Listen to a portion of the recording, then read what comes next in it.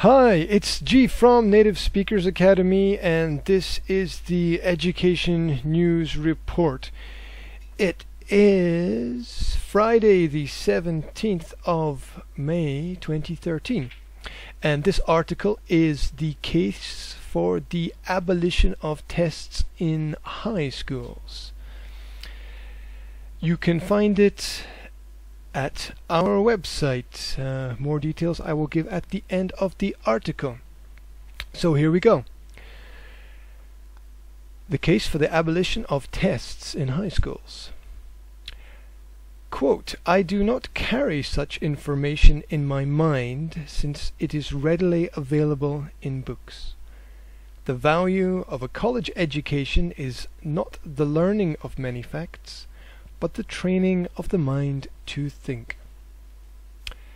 And that was said by Albert Einstein in response to not knowing the speed of sound as included in the Edison test quoted in the New York Times on the 18th of May 1921.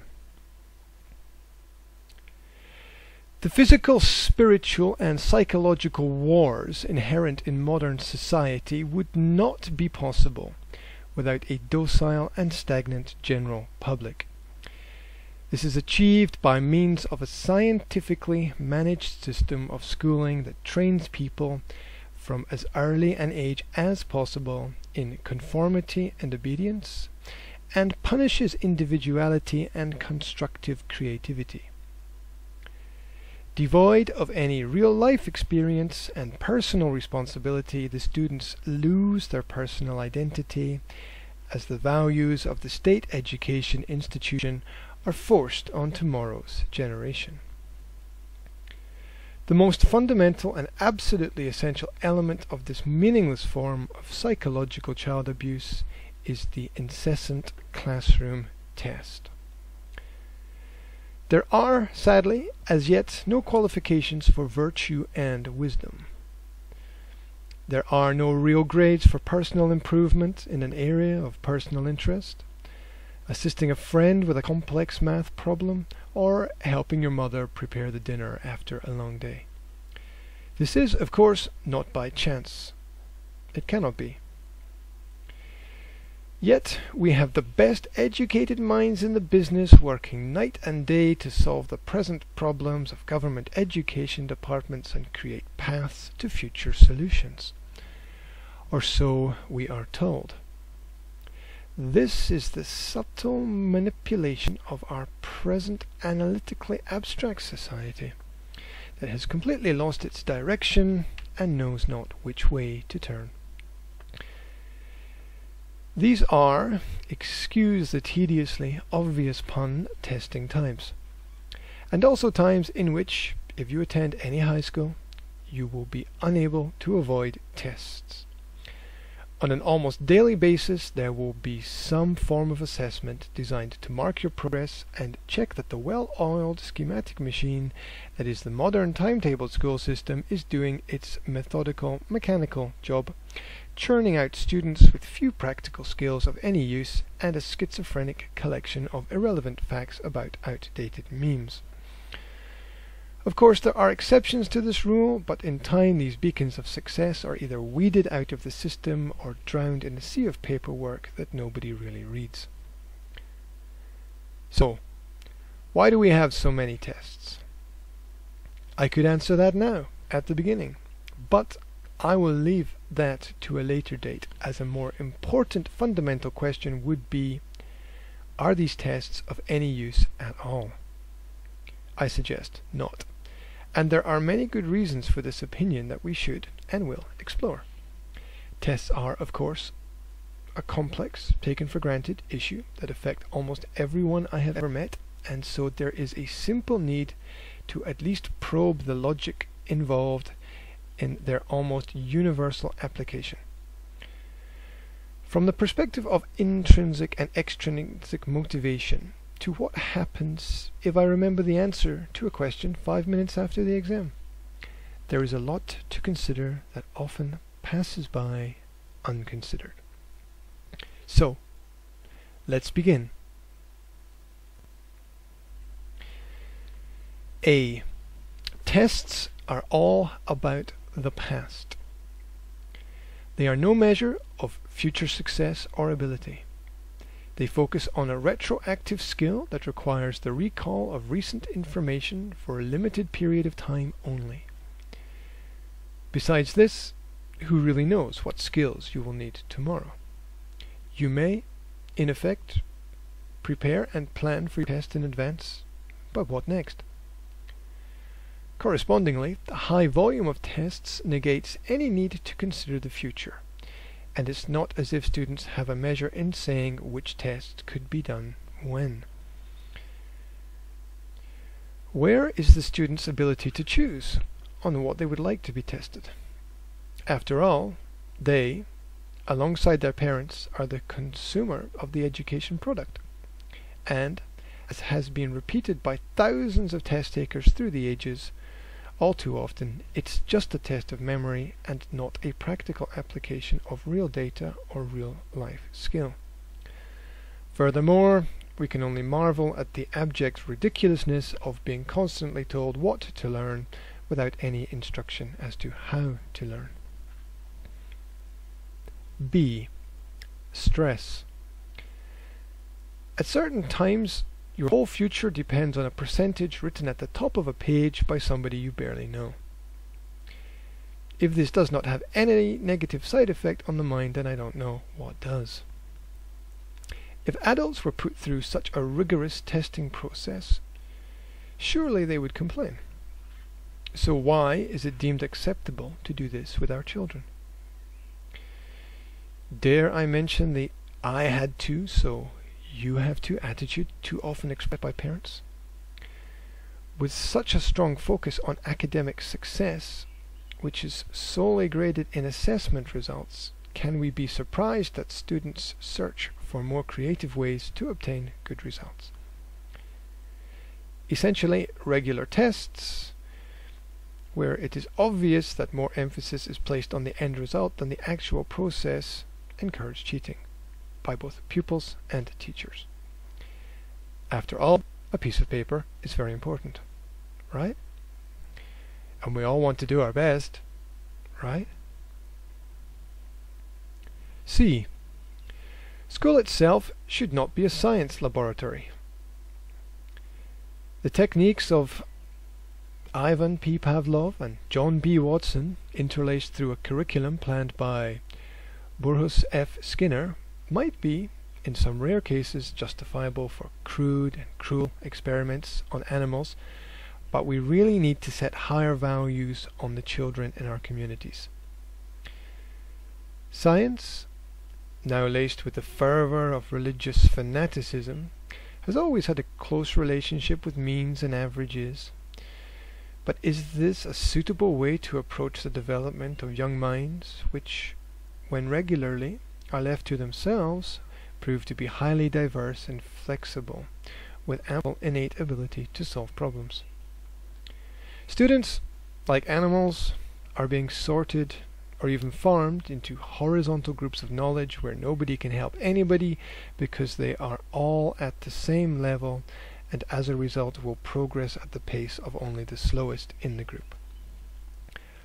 Learning is a vertical process. D.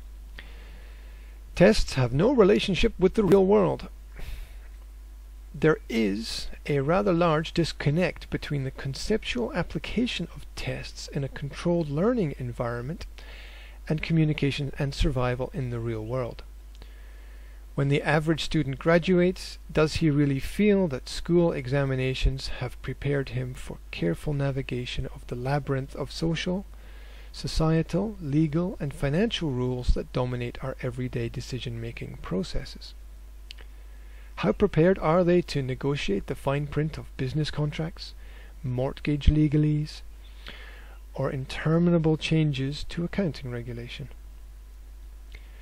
Random historical factoids do little to help us with the important choices in life, such as who to marry, which insurance company to use, or how to rebuild the garden fence, rewire our home electricity circuits, or fix an overflowed toilet. We do not ask the local librarian for her results in school, nor the mechanic at the local garage whether or not he passed his final school exams. Furthermore, who really cares? E. It simply takes up too much time. Between the in-school preparation for both educator and student, the in-class delivery and the marking and follow-up reviews, which too often tend to consist only of a glance at the result, followed by a brief emotional response, we could be forgiven for thinking that tests were the be-all and end-all of life. The whole year seems generally focused and planned around the testing process.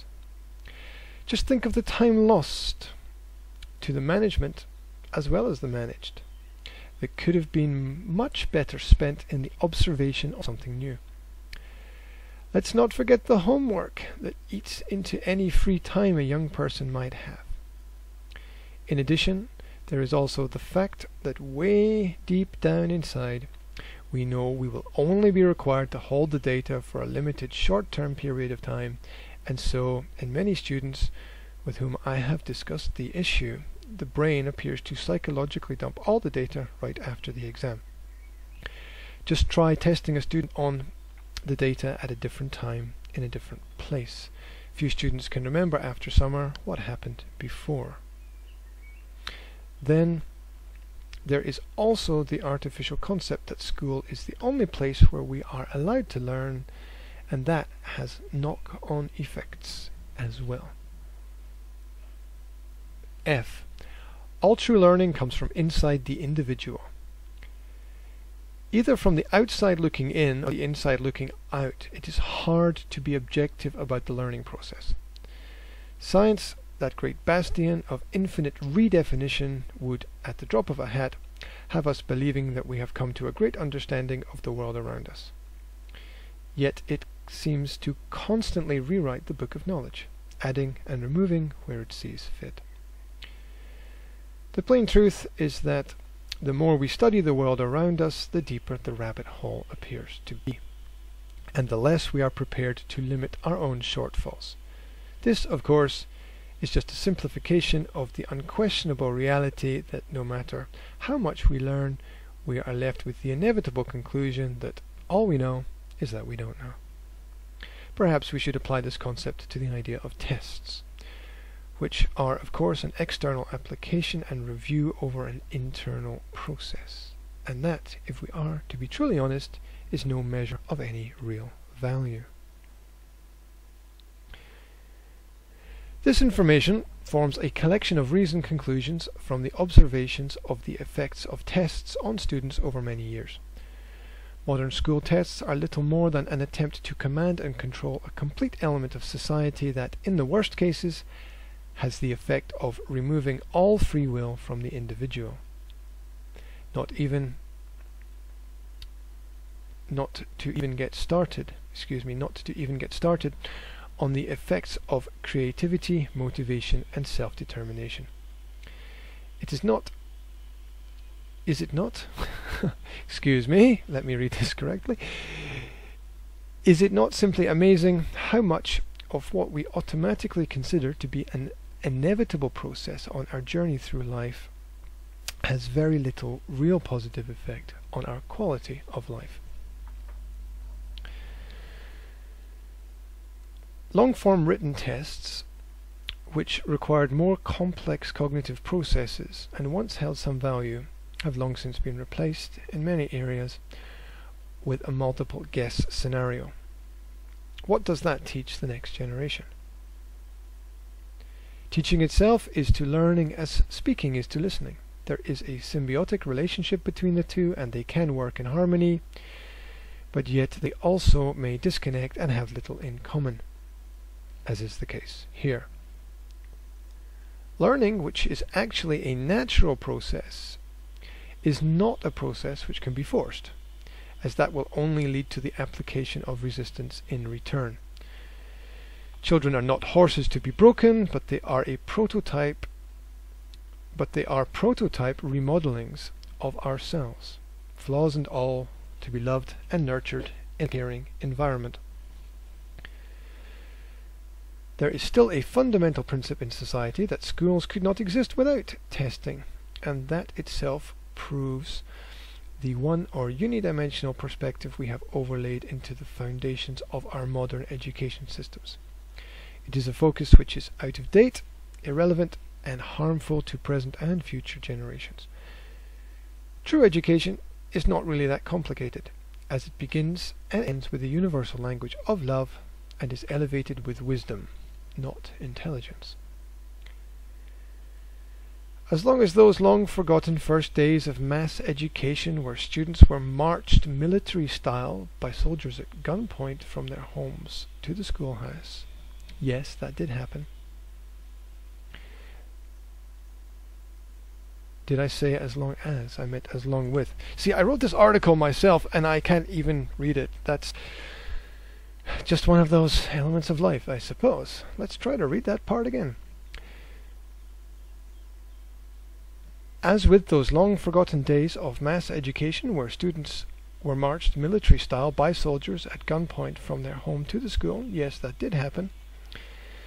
Not only have we lost the very means of true reason in education, but also we have replaced a natural method with a prescribed madness that does not and is never going to work in its present form. And unfortunately for the majority of tired teachers, we have misguidedly turned a once noble profession into a relentless daily lost cause. It is far beyond time to stop, rethink, and move on. Anytime the destination becomes more important than the process, we are in a race to the bottom. Enough is already more than enough, Let's not perpetuate the tragedy of history and make the same mistakes as our forefathers by placing blind belief in a system that has consistently let down the faithful. Let us make a wiser choice for future generations, remembering, of course, the words of John F. Kennedy that an error does not become a mistake until you refuse to correct it. So, if a student up to the age of 18 freely wishes to take a test, of course, let them. Otherwise, how you choose your friends, how you love and are loved, and how you live your life are the only tests that you really need to pass.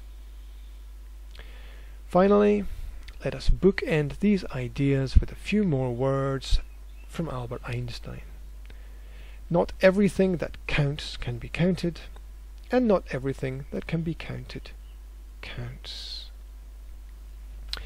and that was written by me, and that was also misread by me, mistakes and all. If you have any ideas you would like to add to this, or you disagree with me, you can contact us or visit us at nsa-slovakia.com or nsa-education.com. You can also link to us on Facebook, YouTube, Pinterest, and LinkedIn. The postscript reads Don't worry, the irony of somebody who prepares students to pass tests writing an article about the evils of testing in the school system is not lost. At least not on me. Thank you very much for listening. Remember, resistance is victory. Take care.